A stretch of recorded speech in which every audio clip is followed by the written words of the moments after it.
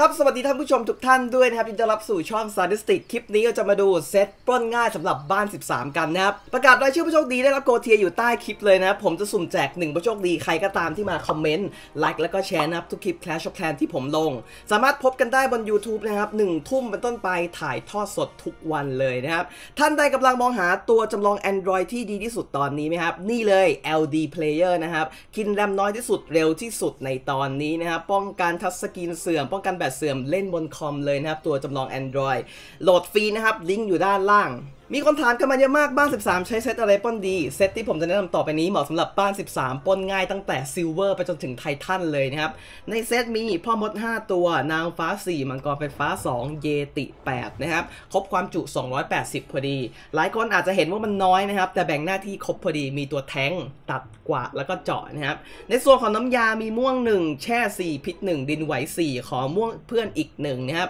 ในแคนแนะนำให้ขอเป็นเยติกับเปกกาจะดีมากๆนะครับแล้วก็เราใช้แค่รถเจาะเท่านั้น เซตนี้ประหยัดนะครับเหมาะสำหรับบ้าน 12 บ้าน 13 มากๆ ใช้น้ำดำเพียงแค่ 7-800 เองนะครับ ถ้าเติมโกเทียนน่าจะแค่ 700 ถ้าไม่ได้เติมก็น่าจะประมาณ 800-900 นะครับเยติมีความพิเศษยังไงเราไปดูนะครับ เยตินี่ก็คือตัวแทงนะครับเป็นแทงที่ดีมากๆ อย่างยักษ์เนี่ยมันจะเดินไปต่อยแค่ป้อมป้องกัน แต่เยติมันตีทุกอย่างที่ขวางหน้านะครับ และระหว่างที่มันถูกตี ลูกไฟสีม่วงด้านหลังในตะกร้านะครับ มันจะออกมานะครับสูงสุดเลย 10 ตัว ลูกไฟนี้ทำอะไรเหรอครับ มันช่วยกระโจนใส่ป้อมนะครับ มันชอบกระโดดใส่ป้อมป้องกันนะครับ โจมตี 72 เลือดตั้ง 400 400 นี่เยอะนะครับ ลูกไฟออกมาทีไรไม่เคยตายนะครับกระโจนใส่ป้อมพังตลอด 72 นี่ก็คือความเสียหายพื้นฐาน ค่ากระโดดใส่ป้อมจะแรงขึ้น 4 เท่า ก็หมายความว่าลูกไฟ 1 ตัวนะครับ 72 คูณ 4 เท่ากับ 288 นะครับ 10 ตัวก็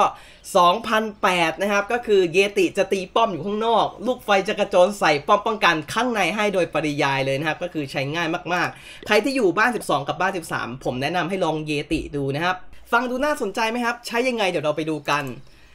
ไททันหลุดไปตี legend นะครับ ไม่รู้หลุดไปได้ไง8 9 0 0 0เสาลาวาเป้าหมายเดี่ยว 3 เสา ผมปาดินไหวเปิดขวาล่างนะครับ ปล่อยเยติแบบซ้าย 2 ขวา 2 หรือไม่ก็ซ้าย 3 ขวา 3 นะครับ ในการช่วยตัด พยายามให้เยติเข้าข้างในอย่างน้อย2 3ตัว แล้วก็มังกรไฟฟ้าช่วยตัดนะครับ ใช้นางฟ้าเลี้ยงก็ได้เยติจะได้ตายช้าลง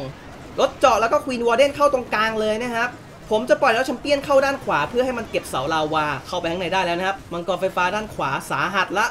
queen แช่แข็งเลยครับ queen เขาตายเรียบร้อยมังกรไฟฟ้าด้านขวาเราตายแล้วนะครับ ด้านซ้ายเลือดยังเต็มอยู่นะครับ แช่แข็งก่อน royal champion นะครับ เก็บให้หน่อยเข้ามาแล้วครับ ยาม่วงเลย โดนทั้งรถแชมเปี้ยนด้วยรถกำลังประชิดบ้านให้ PEKKA ทำลายบ้านนะครับ นั่นคือจุดประสงค์ของ PEKKA ผมแช่ทั้ง eagle ทั้ง X-Bow ให้ royal champion แล้วก็แช่ทั้งบ้านเสาลาวาเป้าหมายเดี่ยวกับ eagle นะครับ พอบ้านใกล้พังกดไม้ตายได้เลยนะครับ ระเบิด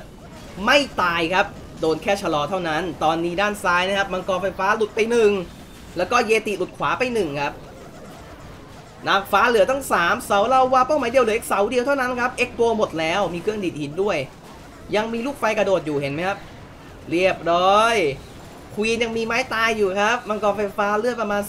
30%ด้านขวาเยติกับพ่อมดกำลังเก็บป้อมให้อยู่ อันนี้คือถ้ามันตัดแบบนี้โอกาสที่เราจะไม่ทันครับ 99%น้อยมากๆนะครับ เราเหลือเป็กก้าหนึ่งเยติสามครับควีนมังกรไฟฟ้ากับแกนวอร์เดนนะครับ นั่นแหละควีนมีไม่ตายอยู่ครับ สบาย อ้าว เยติตายไปหนึ่งครับ กระโดดใส่ป้อมล่อไปประมาณ 60%เห็นไหมครับพ่อมดทำอะไรเนี่ย มึงทำอะไรของมึงเนี่ย ป้อมมันพาหมดแล้ว มึงอ้อมไปดิ กดไม้ตายควีนก่อน นั่นแหละเหลือแค่มอต้ากับป้อมธนูนะครับพ่อมดเปลี่ยนใจมาละอะไรเนี่ย ตีป้อมธนูให้หน่อยพ่อมด 96พ่นไฟครับ ไฟฟ้าชิ่งอะโดนพอดีครับ 97 99 ครับ เหลือเวลาเหลือเฟือเลยครับ เหลืออีกเกือบตั้งครึ่งนาทีนะครับร้อยเปอร์เซ็นต์ไททันหลุดไปตีเลเจนด์นะครับ3 0 0 0 0นะครับ8 0 0 0 0แล้วก็2,004นะครับ เซตนี้เล่นง่ายมากๆ เพราะว่าเยตินี่แทบแทบทำเกือบทุกอย่างเลย เยติมีหน้าที่ในการแทงในการตัดในการทำลายนะครับ แบบ 3 in 1 มังกรไฟฟ้าเป็นตัว make sure ว่าเยตินะครับ จะช่วยตัดแล้วก็เข้าไปข้างในให้ คือมังกรไฟฟ้าค่ารอด ก็ดีถ้าไม่รอดก็ไม่เป็นไรนะครับ ส่วนคิงเราปล่อยออกนอกตามซ้ายตามขวาก็ได้นะครับแล้วแชมเปี้ยนพยายามปล่อยนำหน้าไปทำลายป้อมที่เราเกลียดอย่างเช่น X bow Eagle หรือไม่ก็เสาลาวานะครับเล่นง่ายมากๆ ต้นทุนถูกด้วยนะครับ เราสามารถดัดแปลงเซตนี้ได้เช่นกันนะครับ เปลี่ยนจากมังกรไฟฟ้า 2 ตัวไปเป็น PEKKA 2 ตัวก็ได้นะครับ จะเหลือความจุอีก 10 สร้างระเบิดอีก 5 ในการระเบิดทางออกนะครับ หรือเปลี่ยนจากมังกรไฟฟ้า 2 ตัวเป็น PEKKA 2 ลบพ่อมดทิ้งอีก 5 ตัวแล้วก็สร้างเป็น headhunter ปล่อยตามทีหลังไปฆ่าฮีโร่ในฐานเขาก็ได้นะครับ น้ำยาไม่ว่ายังไงนะครับ ต้องเอาแช่แข็งมานะครับเพื่อแช่เสาลาวาเป้าหมายเดี่ยวนะครับ อย่างน้อยสุดเลยคือ 2 ขวด เราจะเปลี่ยนเป็นยาฮิวอีก 1 ขวดก็ได้ หรือจะเป็นฮิว2ม่วง1ก็ได้นะครับในแคนบังคับเลยว่าต้องเอาเปกก้ามานะครับเปกก้าเป็นตัวชูโรงในการทำลายบ้านนะครับ อย่างที่เห็นเมื่อกี้ผมไม่ได้ทำควีนวอล์กนะครับ ผมทำเยติวอล์กหลายคนอาจจะงงว่าจะไปยื้อเยติทำไม เยติลูกไฟหมด 10 ตัวแล้วก็จริงแต่คือมันเดินเร็วปานกลางนะครับ ความแรงในการตีความเร็วในการตีมันพอใช้ได้นะครับ เฉลี่ยเฉลี่ย เรามาดูอันที่ 2 กัน น้ำดำหนึ่งหมื่นน้ำม่วง 1 ล้านนะครับบ้าน 13 เสาลาวาเป้าหมายเดี่ยว 3 เสาอีกแล้วนะครับ ผมปาดินไหวเปิดซ้ายเป็นการเปิดให้ทะลุไปเลยครับ ผมจะเข้าขวาออกซ้ายนะครับลดเลือดเสาลาวาด้วย ปล่อยเยติซ้าย 2 ขวา 2 นะครับ หรือไม่ก็ซ้าย 3 ขวา 3 นะครับ ให้อย่างน้อย 2-3 ตัวเข้าตรงกลางนะครับ ตามด้วยมังกรไฟฟ้าในการตัดนะครับควีนเดินตามรถเจาะนะครับ อย่าให้ควีนเดินออกข้างนอกเด็ดขาดนะครับ ตอนนี้ผมมีคิงWarden เดินตาม King แล้วนะครับ ด้านขวามังกรไฟฟ้ากับเยติน่าจะถูก King ด้านขวาฆ่านะครับเสาลาวาจี้แล้วไม่เป็นไรนะครับ มันจี้เยติหนึ่งตัวแช่ไปเลยครับ จี้เยติปล่อยตายได้นะครับ อย่าให้รถแตกเด็ดขาดรถจะแตกได้เมื่อถึงบ้านเท่านั้น ยาม่วงขวดแรกครับ มาเลยแล้วแชมเปี้ยนเก็บให้หน่อยครับ บ้านติดแล้วแช่เลยครับ โดนทั้ง Eagle โดนทั้งเครื่องดิดหินแล้วก็บ้านนะครับ เปิดไม้ตายปาโลครับ แตกเรียบร้อยWarden ไม่ได้เดินตามตรงกลางนะครับ ก็เลยโดนระเบิดไปโดนชะลอด้วยนะครับ แต่ไม่ตาย P.E.K.K.A นี่เลือดเกือบเต็มเลย Eagle แตกเรียบร้อย ผมเปิดไม้ตาย Warden นะครับ ไม่ให้ King ตายกับเยติอีก 2 ตัวนะครับ Queen solo ด้านขวาตัวเดียวเลย อันนี้ยังพอได้อยู่ มี X-Bow มีปืนใหญ่ แล้วก็ป้อมธนูนะครับ ป้อมพ่อมดด้วย เปิดไม้ตายแล้วนะครับ สังเกตอะไรไหมครับ มังกรไฟฟ้าออกซ้ายหลุดมาหนึ่งตัว อันนี้คือถ้ามันเก็บรอบนอกให้ยังไงก็ทันร้อยเปอร์เซ็นต์นะครับ เยติรอดมา 2 ตัวตามที่ผมบอกเป๊ะๆเลย เห็นไหมครับ อยู่กับคิงหนึ่งตัวแล้วก็เดินนำหน้าตรงข้างๆแล้วแชมเปี้ยนอีกหนึ่งตัวนะครับรอดมา 2 ตัวเป๊ะเลยนะครับให้มันเข้าข้างในได้ก็พอนะครับเปกก้าตายเรียบร้อยแล้วเพราะอะไรเก็บบ้านปั๊บตายได้เลยนะครับ 100%ปลายาพิษทิ้งโชว์นะครับ นี่เลย 5 6 0 0 0 1ล้าน2หมื่นนะครับ แล้วก็ 1 0,000 เป๊ะๆนะครับ น้ำดำ17 ถ้วยเท่านั้นเอง ไททันตีไททันนะครับ ก็เล่นง่ายมากนะครับ อย่างที่บอกเราเปลี่ยนมังกรไฟฟ้าเป็นตัว P.E.K.K.A ช่วยในการตัดก็ได้ ค่าเมื่อกี้เป็น P.E.K.K.A P.E.K.K.A จะฆ่า King ได้นะครับเพราะ P.E.K.K.A level ตัน เซตนี้จะเหมาะกับคนที่อยู่ลีก Silver ไปจนถึงไททันนะครับ แบบปล่อยทหารหน้ากระดาน ซ้าย 2 ขวา 2 หรือไม่ก็ 3 นะครับ Queen เดินตามรถเจาะเข้าไป P.E.K.K.A เก็บบ้านแล้วก็ออกทางที่ดินไหวเปิดไว้นะครับ ก็ร้อยเปอร์เซ็นต์แบบเล่นไม่ต้องคิดอะไรมาก แต่เซตนี้ไม่เหมาะกับ Legend เท่าไหร่นะครับ ตอนนี้ผมอยู่ Legend ถ้วย 5,020 พอดีเพอิญตีเพลินไปหน่อยนะครับ ก็เลยหลุดขึ้นมา มันตี 100 ยากนะครับ85 72 ก็พอได้นะครับ อันนี้